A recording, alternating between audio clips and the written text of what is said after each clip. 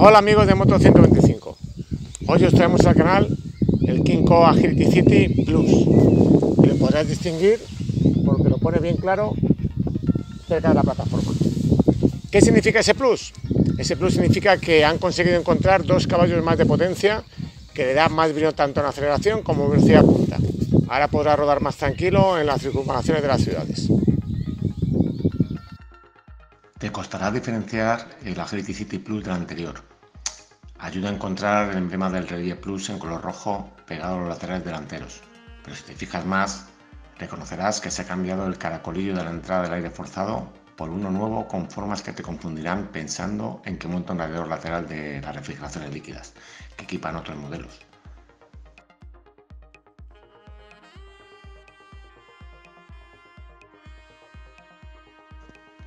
También cambia el silenciador del escape por otro de formas diferentes, pintado en negro.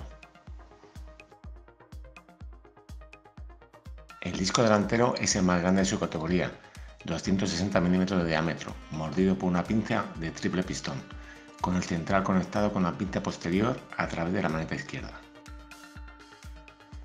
Grande también es el disco trasero de 240 mm mordido por una pinza de doble pistón, nada habitual en esta categoría.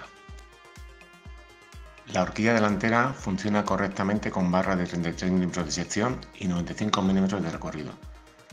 A ella se agarra una llanta de 16 pulgadas con neumáticos Kenda que dan seguridad incluso en mojado. Los amortiguadores traseros cuentan con muelle de doble paso y precarga regulable en 5 posiciones. Recomendamos bajar a la posición mínima para mejorar un poco el confort, ya que tienden a duros. Cuenta con doble dotación de caballetes, pero deberían revisar el caballete lateral o pata de cabra, ya que es de los que no cuenta con interruptor cortacorrientes y se recogen solos, pudiéndote causar un considerable disgusto. Bajo el asiento de generosas dimensiones cabe un casco jet o abierto incluso con pantalla. En el caso de tallas grandes hay que forzar el cierre del asiento. Incluso queda espacio libre tras el casco. Tras el escudo encontramos un gancho para colgar bolsas sin mecanismo para escomotearlo, también disponemos de una pequeña guantera en cuyo interior hay una toma de corriente tipo mechero de 12 voltios, protegida por una tapa de goma. Al encontrarse el depósito de gasolina bajo la plataforma plana con capacidad para 7 litros, la boca de llenado se encuentra en la parte izquierda del salvapiernas. El tapón cuenta con cerradura, pero no con una bisagra que lo una a la boca.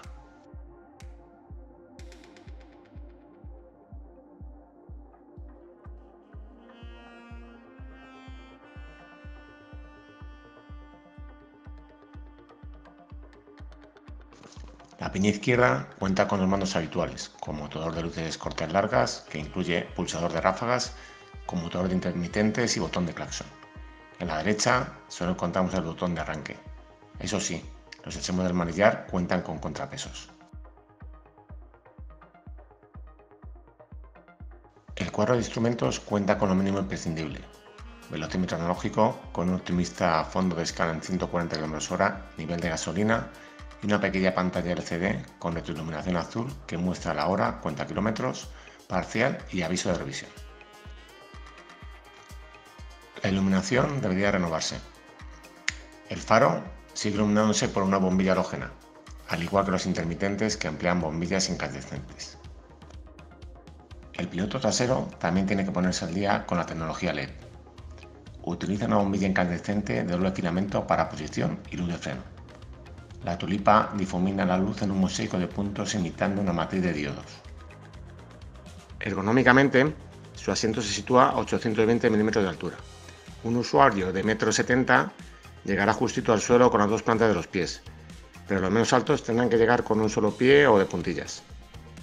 Iniciando la marcha y subiendo los pies a la plataforma, te encuentras cómodo con la espalda vertical sin que se eleve demasiado la plataforma por la presencia del depósito de gasolina debajo de ella.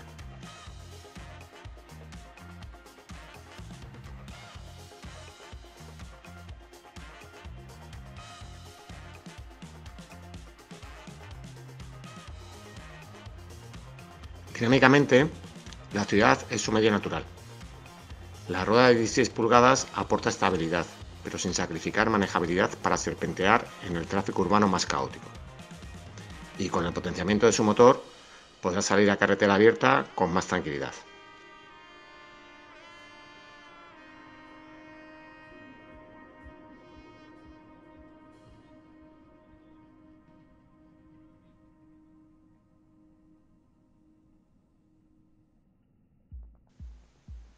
En el apartado de motor y prestaciones, le ha sentado muy bien esos dos caballos de más.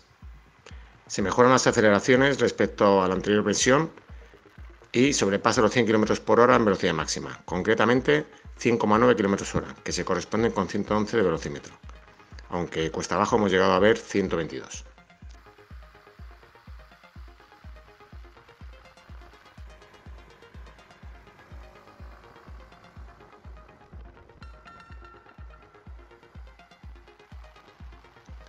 Y a pesar de todas estas mejoras, se agradece que el nuevo Agility City Plus mantenga el precio de su predecesor en 2.399 euros, incluyendo los gastos de matriculación.